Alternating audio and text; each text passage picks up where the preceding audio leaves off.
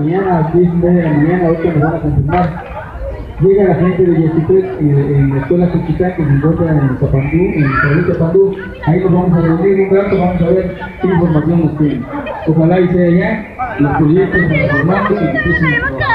Si es que voy a tener informado a través de sus maestros, que ya podrán tomar ese diálogo.